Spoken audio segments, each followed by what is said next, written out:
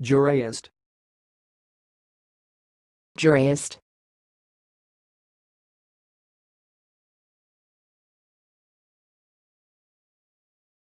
Thanks for watching. Please subscribe to our videos on YouTube.